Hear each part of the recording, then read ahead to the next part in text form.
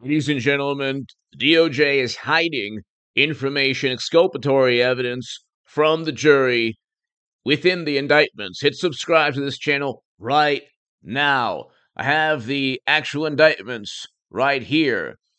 Donald J. Trump. And hit subscribe right now and share this with anyone who thinks he's going to spend a second in prison or jail. This is exculpatory evidence missing from within the indictments. Obviously, they want to go after him and ruin him politically. Okay? But you can read any of these indictments, and we'll just look really quickly at the special counsel indictment and also some of the charges in Georgia. But did knowingly combine, conspire, confederate, and agree with okay, known and unknown to the grand jury to defraud the United States by using dishonesty? What? You don't knowingly. First of all, Donald Trump truly believed that he was treated like Bernie Sanders in the 2016 Democratic primary. I will prove that to you right now. You can look.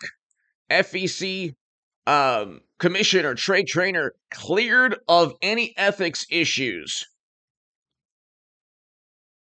What were the ethics issues?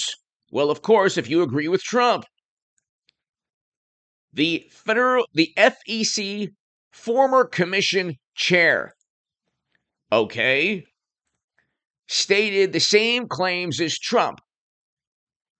So, Donald J. Trump and a former FEC commission chair, and others, by the way, everyone indicted in Georgia, for example, believed wholeheartedly that 2020 was full of bizarre anomalies and that nothing was above board and just and honest and fair. Now, if you believe that Trump knowingly deceived in a campaign knowingly engaged in a campaign to deceive Americans because he truly it, he truly understood that he had lost fair and square, um, then you must be a highly educated, morally superior, almost always apoplectic liberal Democrat who perhaps is quite delusional.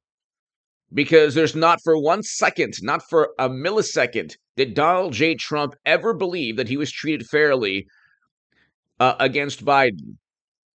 Okay, you can look at the Democratic Party from Tammany Hall to the Democratic primary in 2016. They don't even have a functioning primary. To all the bizarre anomalies that Donald J. Trump and others, including the FEC chairman. So, the reason that I bring this up in relation to the um, the reason I bring this up in relation to the indictment is that you're going to have to prove that Donald Trump and an FEC chairman, not just Trump, a person who knows more about 2020 and 2016 and every four years than most Americans and than anyone at the Washington Post or New York. Trey Trainer, a former FEC chairman who echoed Trump's claims and of course, there's a fact check and a fact check uh, from uh, USA Today, fact check from the Washington Post and others, stating that, well, you know, he he's not right. We spoke to somebody and somebody said that he was wrong.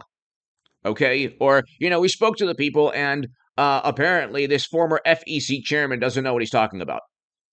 Okay, um, number one, you have experts that side with Trump. Here's one example. He was cleared, by the way, of any ethics violations.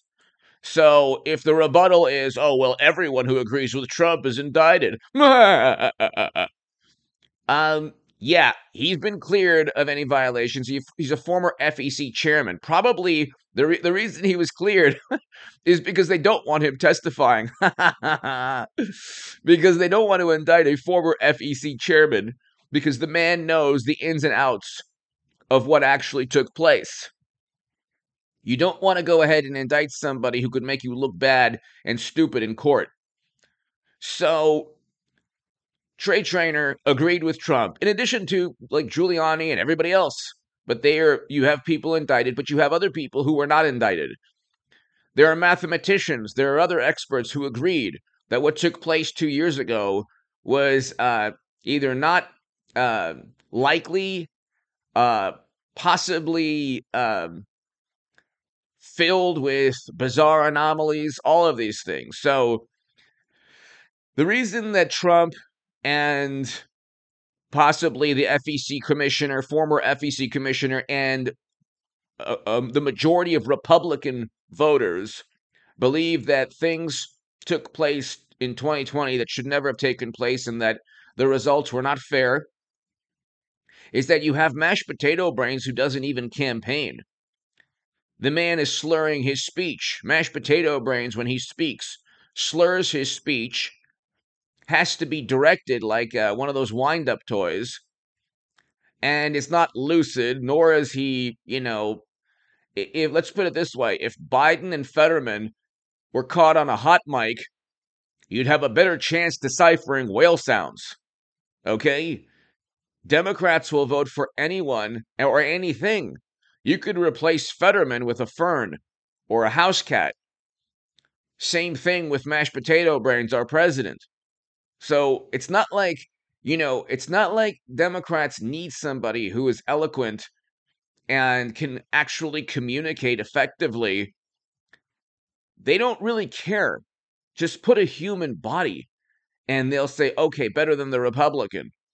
So it's not like when when the entire world sees our president, everyone, all of our adversaries, including every American, including every Democrat, they're all we're all thinking around the planet the same exact thing. It's just that Democrats are saying, okay, well, we have power now. So we like this man. All right. So when that type of human being who can't even form a sentence without some kind of bizarre uh, statement or communicating some something you know outlandish or slurring speech when that type of human being ends up defeating the incumbent Donald Trump um, when Trump is up in like six or seven states and suddenly he's he he he lost the next day and then there are issues that are unexplained simply okay if you have a state official that, that performs either a recount or asks another state official about a very bizarre anomaly, and they say that's totally fine and Giuliani's wrong, that is not debunking anything. When the Washington Post or the New York Times or MSNBC or CNN or state officials debunk Trump or Giuliani, they oftentimes do so by asking another state official who would um, who would suffer greatly from any impropriety being found. So, of course, the state official is going to say, yeah, you know, they just don't know how things are done. This FEC commissioner knows exactly how things are done every four years. So, going back to the actual, um, the actual, he's not going, if he gets convicted, it will be overturned by the Supreme Court because you cannot prove that Trump knowingly committed uh, any dishonesty these are all opinionated, subjective statements. If you truly believe that Democrats didn't engage in any um, dishonorable behavior, then you don't know the history of the Democratic Party. You don't know the history of 2016 and Debbie Wasserman Schultz resigning in disgrace. That's all they do. Um, President Obama's campaign uh, vehemently denied um, allegations by Clinton's campaign and made allegations that they were uh, trying to railroad him. And by the way, the myth that he wasn't born in the United States was not started by Donald J. Trump. It was started by Hillary Clinton and her campaign. And that's a fact. And there's there are numerous New York Times articles from 2008, and there's in a Guardian article that talks about how indignant President Obama's campaign was when Hillary Clinton accused him of not being born in the US. Okay, so, or her campaign, I should say. Okay, so hit subscribe to this channel right now. all this is just one indictment. All of the indictments are like this. They're broad and vague, ambiguous, and they will all be overturned. Any conviction will be overturned. Hit subscribe right now.